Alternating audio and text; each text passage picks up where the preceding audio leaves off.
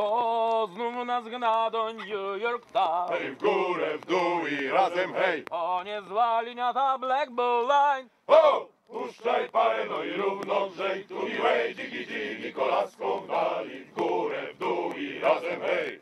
Jeżeli na kolanie ma, ho! Puszczaj parę, no i równo grzej, A na Bowery Street, co ma sławę złą. hej w górę, w dół i razem hej! Dziewczyny z każdym tańczyć chcą. Ho!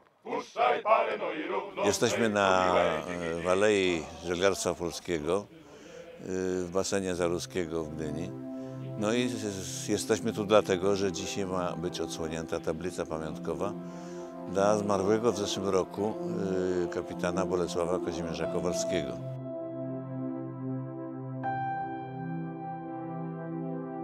Cieszę się bardzo, że w tak zacnym towarzystwie Bolka y, tablica zostanie umieszczona w tak pięknym miejscu, jakim jest basen jachtowy.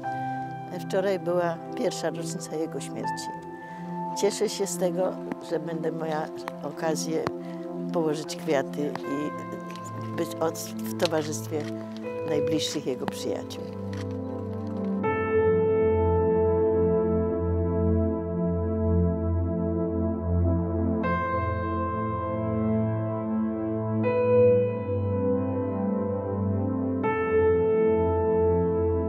Kowalski zaistniał w naszej świadomości i jako świetny żeglarz, jako organizator, jako prekursor rejsów oceanicznych.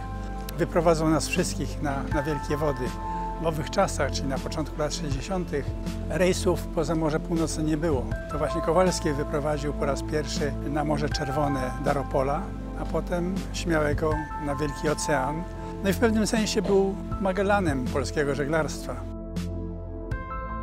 Spełnianie tak odważnych marzeń e, to zawsze jest e, wyjątkowa, e, wyjątkowa postawa i bardzo się cieszę, że mogliśmy dzisiaj upamiętnić tą wyjątkową postać, nie tylko dla naszego miasta, nie tylko dla Gdynian, ale także dla Polski i w ogóle dla Bractwa Żeglarskiego. Rzeczywiście jest to wyjątkowa postać, która oddaje ducha naszego miasta.